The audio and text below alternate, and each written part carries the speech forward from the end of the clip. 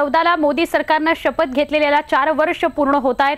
या चार वर्षात देशात शेती क्षेत्रात अमूलाग्र बदल घडवून आणण्यासाठी पंतप्रधान पीक विमा योजना साईल सॉइल हेल्थ कार्ड योजना पंतप्रधान सिंचन योजना असे अनेक निर्णय घेतले. त्यापैकी काही निर्णय हे फायद्याचे ठरले तर काही अंमलबजावणीतच फसले. या चार वर्षात मोदी सरकारनं काय कमावलं काय गमावलं? मोदी सरकारच्या चार वर्षांच्या कामगिरीचा लेखाजोखा आम्ही तुमच्यापुढे मांडणार आहोत. तज्ज्ञ आणि सर्वसामान्यांच्या दृष्टिकोनातून पाहुयात न्यूज एटीन लोकमतचा विशेष कार्यक्रम मोदी सरकारची चार वर्ष. मोदींच्या कार्यकाळामध्ये शेतकऱ्यांची लूट वाढलेली आहे शेतकऱ्यांचा कर्जबाजारीपणा वाढलेला आहे. प्रधानमंत्री फसल विमा योजनेचे खूप ढोल वाजवले गेलेले आहेत पण फसल विमा योजनेमध्ये फक्त प्रीमियम कमी झालेलं आहे पण शेतकऱ्यांच्या पदरात काहीच पडत नाही आहे कारण नुकसान ठरवण्याची जी पद्धत आहे ती मनमोहन सिंगांच्या कार्यकाळामध्ये जशी होती तशीच महाराष्ट्रात ती आहे. शंभर गावांचा मिळून इन्शुरन्स आहे. जो गाव पातळीवर करावा असं मनमोहन सिंगांच्या फसल विमा योजनेमध्ये होतं आणि आजच्या प्रधानमंत्र्यांच्या फसल विमा योजनेमध्ये आहे. पण गाव पातळी किंवा गाव एकक किंवा ग्रामपंचायत एकक हे अजूनही झालेलं नाही आहे तिथे निराशा आहे. शेतीमालाचं निर्यातीचं धोरण आम्ही बदलणार असं सुरेश प्रभूजींचं वाणिज्य मंत्र्यांचं आत्ताही काही दिवसापूर्वीचं स्टेटमेंट आहे. पण त्याला धरून मला असं म्हणायचं आहे की आयातीच्या धोरणाचाही विचार व्हायला पाहिजे आणि आयातीच्या धोरणाची व्याख्या पण आता अशी करायला पाहिजे की या देशामध्ये कोणताही शेतमाल हा हमी किमतीच्या कमी किमतीपेक्षा आम्ही आयात होऊ देणार नाही. असं धोरण जर आम्ही आखलं तर बाजारात शेतीमालाचे भाव हमी किमतीच्या खाली जाणार नाही. चार वर्षामध्ये शेतकऱ्याला आश्वासन आणि विश्वासघाताशिवाय काही मिळालेलं नाही. खरं तर मोठ्या अपेक्षेनं मोदी सरकारला निवडून आणण्यामध्ये शेतकऱ्यांनी पुढाकार घेतलेला होता. परंतु त्यांचा साप भ्रमनिरास झालेला आहे. जो आम्हाला बाजारात मिळणारा दर होता तोही मिळालेला नाही. नऊ हजारची तूर आम्हाला अडतीसशेला विकावी लागली. सात हजारचा हरभरा बत्तीसशेला विकावा लागला. पाच हजारचा सोयाबीन अठराशेला विकावा लागला. ऊ- ऊस उत्पादनापासून ते सा दूध धंद्यापर्यंत सगळ्यात शेतकऱ्यांच्या प्रत्येक उत्पादनांची वाट लागली. आणि शेतकऱ्याच्या डोक्यावर गेल्या चार वर्षामध्ये साडेपाच लाख कोटींनी कर्ज वाढलं. महाराष्ट्राच्या आर्थिक पाणीचा यावर्षीचा अहवाल हे सांगतो की गेल्या वर्षी बेचाळीस हजार कोटी रुपये शेतकऱ्यांनी कर्ज उचललं होतं. यावर्षी फक्त बावीस हजार कोटी कर्ज उचललं गेलं आहे याचा अर्थ शेतकऱ्यांची आर्थिक परिस्थिती सुधारली असा होत नाही तर बँकांनी शेतकऱ्यांना कर्ज नाकारलं असा होतो. आणि त्यामुळं हे सगळे शेतकरी आज खाज खाजगी सावकार मायक्रो फायनान्स कंपन्या यांच्या कचाट्यामध्ये सापडलेल्या आहेत म्हणून शेतकऱ्यांच्या आत्महत्या दिवसेंदिवस वाढत आहेत आज परिस्थिती आहे असं आहे की तीन झिरो दो गाईच्या दुधाला फक्त बावीस रुपये तीस पैसे मिळालं जातं आहे आणि तेच खाद्य बाकी पन्नास किलोच्या पोत्याला खाद्याला जवळजवळ हजार अकराशे बाराशे रुपयेपर्यंत उन्हाळ्याच्या दिवसात बाराशेपर्यंत पोत्याला. मग त्याच्यात सुग्रास असू दे गोळीपेंड असू दे किंवा सरकी पेंड असू दे हे जवळजवळ हजार ते बाराशे रुपयेपर्यंत उन्हाळ्यात दर जातोय. आणि हे जर उत्पादन खर्चाचं ताळमेळ घालायचं म्हटला तर शेवटी आम्ही जे सगळं व्यवस्था करून जे जनावरांचं सगळं व्यवस्था करून दुधाचं आर्थिक बजेट जर काढलं तर शेवटी आम्हाला शेण देखील परवडत नाही.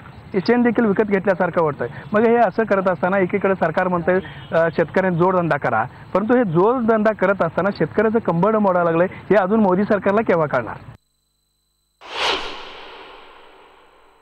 माझं रोजचं सकाळी पंधरा वीस लिटर आणि संध्याकाळी पंधरा वीस लिटर दूध आहे. परंतु दूध उत्पादन आणि म्हणजे दू दूध दूध उत्पन्नाला अजिबात दर नाही आणि दूध खाद्य खाद्याचं दर भयानक मो मोठ्या प्रमाणात वाढलेला आहे. आणि याला एक गैरी रोजगार आणि शेतीतलं चारा याबद्दल शेत म्हणजे दुधाचं आणि चाऱ्याचं मेळ बसत नाही. आणि पैसे ब पदरचं घालून खरं होतं म्हणजे दूध घरात विकत काय खायचं ते उगत घरला खायला म्हणून जनावर बाळगलेलं हेच आहे. धंदा म्हणून दूध धंदा हा आता सध्या परवडत नाही. ह्याला म्हणजे द- कमीत कमी पन्नास ते साठ लिटर रुपयानं दूध जायला पाहिजे. त्यावेळी शेतकऱ्यांना परवडते. पण सरकारनं ह्यासाठी काही अनुदान पण दिलेलं नाही आणि खाद्याला पण शासनानं अनुदान दिलं नाही. ह्या मो स- अगोदर सरकारपेक्षा हा सरकार भयानक बाद सरकार आहे. तर सरकारनं ह्याला अनुदान दिलं पाहिजे खाद्याला बी अनुदान दे- दिलं पाहिजे आणि म्हैस जो जनावर पाळेल त्याला त्या प्रत्येक जनावरा पाठीमागं त्याने डेअरीमार्फत किंवा संघामार्फत त्यांनी अनुदान दिलं पाहिजे. कारण त्याचा आराखडा तयार करून त्याप्रमाणे त्याला पैसे मोबदला मिळाला पाहिजे ही आमची इच्छा आहे. केंद्र सरकार असू दे किंवा राज्य सरकार हे शासनाचं धोरणच वेगळं आहे. हे फक्त सहकाराचं एक मोठं ह्यांचं जाळं बनलेलं आहे. सहकारातनं त्यांना सरकारला पैसे जातात आणि त्यांचं नुसता हे करण्यासाठी त्यांचं पोट भरण्यासाठी हे आमच्या जीवावर ह्यांनी मोठं व्हावं हेच हे शासनाचं धोरण आहे. ह्याच्या उपरोक्त काय नाही. आता सध्या खाद्याचा दर बघितला तर त्यांचा का- जनावरांचा भाकड काळ जर बघितला तर ह्या व्यवसायातनं हिशोब जर काढला तर काहीही मिळत नाही. दूध उत्पादकांची अक्षरशः वाटच लागली आहे. या मोदी सरकारच्या काळात आल्या आल्यापासून. माझे पाच ते सहा गाई गाई होत्या. दोन म्हैशी होत्या. माझं कमीत कमी साठ ते सत्तर लिटर दूध होतं. आत्ता मी सध्या माझी एकच म्हैस मी घरी घरी आहे का? हा दूध दूध धंदा मला आम्हाला परवडेनाच फक्त आम्हाला राहते ते शेणच राहते आता आमच्यात. फक्त आता ते शेती शेतीला शेण वापरता येते एवढंच ते उपयोग आहे. बाकी याच्याबद्दल सरकारचं धोरण एकही चांगलं नाही आहे. शेतकऱ्यांना विम्याचं संरक्षण देण्याच्या बद्दलचा मोठा गाजावाजा महाराष्ट्राच्या आणि देशाच्या सरकारने केला. आणि पंतप्रधान विमा योजनेअंतर्गत हे जे काही अरिष्ट येतं नैसर्गिक आपत्ती येते त्याच्यामध्ये संरक्षणाची भूमिका आम्ही घेतली आणि मोठा दिलासा आम्ही दिला असा गाजावाजा पंतप्रधानांनी केला. मात्र आपण जर त्या पंतप्रधान विमा योजनेची अंमलबजावणी पाहिली तर अरिष्टग्रस्त शेतकऱ्यांना पैसे मिळणे राहिले दूर. आकडेवारी आपण जर पाहिली तर जेवढा प्रीमियम गोळा केला त्याच्या पंचवीस टक्के सुद्धा भरपाई ही शेतकऱ्यांना मिळाली नाही. शेतकऱ्यांना संरक्षण मिळण्याऐवजी खाजगी विमा कंपन्यांना प्रचंड मलिदा या पंतप्रधान पीक विमा योजनेअंतर्गत मिळाल्याचं आपल्याला पाहतो आहे. किंबहुना पंतप्रधानांनी प्रचार दौऱ्यामध्ये दीडशेच्या वर सभा घेऊन भारतीय शेतकऱ्यांना सांगितलं की मी सत्तेवर आलो की दीडपट हमी भावाची आणि स्वामीनाथन आयोगाच्या शिफारशींच्या अंमलबजावणीची मी आपल्याला हमी देतो. मात्र सत्तेवर आल्यानंतर याच मोदी सरकारने सर्वोच्च न्यायालयात जाऊन अशा प्रकारे भाव देता येणार नाही अशा प्रकारचा ॲफिडेव्हिट दिला. शेतकऱ्यांना जेव्हा जेव्हा चांगले भाव मिळण्याची वेळ आली या मोदी सरकारने गेल्या चार वर्षाच्या काळात आपण पाहाल की मोठ्या प्रमाणात शेतीमालाची आयात देशात दुसऱ्या देशातून भारतात केली. सोयाबीनच्या बद्दल आपल्याला सांगता येईल कापसाबद्दल सांगता येईल.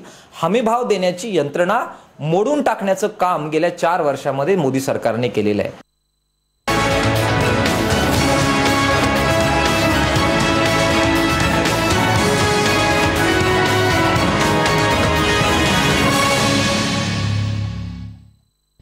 काँग्रेस व्यतिरिक्त असलेल्या पंतप्रधानपदाच्या उमेदवाराला शेतकऱ्यांनी अतिशय भरभरून मतं दिली होती.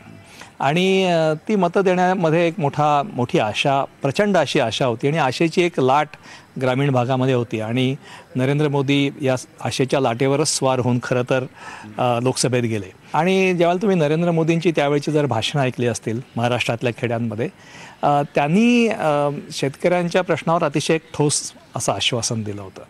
आणि ते आश्वासन असं होतं की ते सत्तेवर आल्यावर ते उत्पादन खर्च अधिक पन्नास टक्के नफा एवढी एवढी हमी असणारे हमी भाव देतील शेतकऱ्यांना.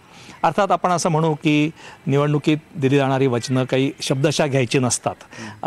पण झालं असं की अ, हमी भावाच्या बाबतीमध्ये हमी भाव वाढवणं वगैरे तर सोडूनच द्या. म्हणजे पन्नास टक्के नफा वगैरे तर सोडूनच द्या. जे सरकार जाहीर करतंय ते देखील हमी भाव शेतकऱ्यांना मिळत नाहीत. दुसरं अस- असं झालं असतं समजा की या काळामध्ये मोठ्या प्रमाणावर बिगर शेती क्षेत्रामध्ये रोजगार निर्माण झाला असता आणि शेती क्षेत्रातून तरुणांना बिगर शेती क्षेत्रामध्ये जर मोठी संधी मिळाली असती. नरेंद्र मोदी सरकारचा सर्वात महत्त्वाकांक्षी आणखीन एक घोषणा होती ती म्हणजे प्रधानमंत्री फसल विमा योजना. प्रधानमंत्री विमा योजना पीक विमा योजना. आणि याच्यामध्ये त्यांनी मोठ्या प्रमाणावर सबसिडी दिलेली आहे शेतकऱ्यांना. दुर्दैवाने त्याच्यामध्ये येणारे शेतकरी अतिशय कमी आहेत. प्रत्यक्षामध्ये अनेक कारणामुळे म्हणजे सर सरकार फंड्स राज्य सरकार आपलं फंड्स रिलीज करत नाहीत. आणि त्याच्यामुळे आज बहुतांश शेतकरी हा या योजनेपासून लांब आहे. पूर्वी जी परिस्थिती होती तशीच परिस्थिती आहे आजपर्यंत. आजपर्यंत कुठलाही फरक झाला नाही. आणि शेतकऱ्यांचं धोरण हे या सरकारचं धोरणच नाही शेतकऱ्याबद्दल. कारण आज शेतकऱ्यां शेतकरी इतका मातीत गाडला आहे आज कांद्याचे भाव इतके गडगडले की ते आपल्याला पिकवणंसुद्धा मुश्किल झालेलं आहे. कारण कांद्याचा एकरी खर्च येतो बेचाळीस हजार रुपये. कांद्याचे मिळतात पंचेचाळीस हजार रुपये. म्हणजे शेत शेतकऱ्याला काहीसुद्धा मिळत नाही. त्याचं पोट त्याचा प्रपंच चालत नाही. त्याच्या मुलाबाळांचं जर असं जर असलं तर परिस्थिती कशी होणार आहे? मग त्यांना फास घेतल्याशिवाय गत्यंतर नाही. त्यांनी असा विषय घेतला होता की अच्छे दिन आने वाले आज- अच्छे दिन येण्यापेक्षा अच्छे दिन आलेच नाही. उलट शेतकऱ्यांना कर्ज कर्ज घेऊन कर्ज फेडण्याची क्षमता राहिली नाही. फेडण्याची क्षमता राहिली नाही म्हणण्यापेक्षा शेतकऱ्यांना कर्ज पण भेटत नाही. कारण कर्जमाफी देता देता दोन वर्ष झाले सोसाडेवाले कर्ज देते नाही. त्याच्यात कांद्याला भाव नाही कोणत्याच पिकाला भाव नाही आणि त्या प- पलीकडं शेतकरी आत्महत्या करतोय. या वेळेला कमी उत्पादन झालं लाल कांद्याच्या वेळेला त्यावेळेला या सरकारने ज्यावेळेला दोन हजार तीन हजार रुपये भाव झाला त्यावेळेला सर्व एजन्सींना बोलवून हा भाव कमी करण्यासाठी किंवा हा भाव पाडण्यासाठी ठराविक लिमिट दिलं की याच लिमिटमध्ये तुम्ही कांदा घेतला पाहिजे आणि याच लिमिटमध्ये तो कांदा दोन दिवसामध्ये तीन दिवसामध्ये रवाना केला पाहिजे. त्याचप्रमाणे आज ज्यावेळेला चारशे रुपये पाचशे रुपये ज्यावेळेला कांदा विकतो तर ठराविक एजन्सीच्या मार्फत या सरकारने चर्चा करून या कांद्याच्या भावाच्या भाव का कमी झाला या संदर्भात चर्चा करणं गरजेचं आहे. आता पूर्वी हे सरकार निर्यातीला अनुदान देत होतं. आणि आज निर्यातीला सुद्धा अनुदान राहिलेलं नाही. आणि त्यामुळे आडत गेली निर्यातीचं अनुदान गेलं. त्यामुळे व्यापाऱ्यांमधली जी चुरस आहे व्यापाऱ्यांमधली जी स्पर्धा आहे ती स्पर्धा राहिली नाही. आणि त्याच्या त्याचा दुष्परिणाम असा झाला आहे की आज ज्याप्रमाणे शेतकरी हवालदिल झाले त्याचप्रमाणे कांद्याचा व्यापारसुद्धा शेतकऱ्यांनी व्यापाऱ्यांनी करावा की नाही करावा हा असा प्रश्नसुद्धा व्यापाऱ्यांपुढे पडलेला आहे. मोदी सरकारची चार वर्ष काय कमावलं काय गमावलं? या विशेष कार्यक्रमामध्ये आज आपण इथेच थांबणार आहोत. उद्याही बरोबर साडेआठ वाजता याच कार्यक्रमाचा तिसरा भाग आपण पाहणार आहात. आत्ता बुलेटिनमध्ये इथेच थांबतोय. पहा फक्त न्यूज एटीन लोकमत.